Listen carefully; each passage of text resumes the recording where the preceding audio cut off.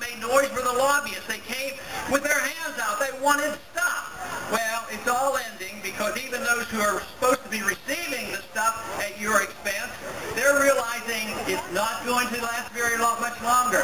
We're bankrupt in this country, and therefore we do need a sea change. But what we have to do is ask the proper question. The first question is, what should the role of government be? And everybody says, well, always do this and that and take care of medical care. I say it's much simpler than that. The role of government is to protect our liberties.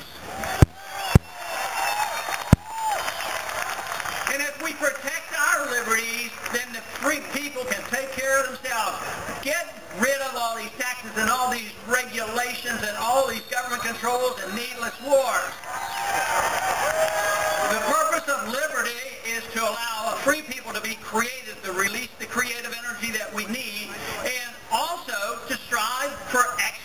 virtue. That's what life is all about. But when government takes over this role of saying, we're going to make you a better person tell you how to live and run your personal life, or we're going to take over your economic powers and we're going to tell you how you spend your money, then the government does that at the expense of liberty.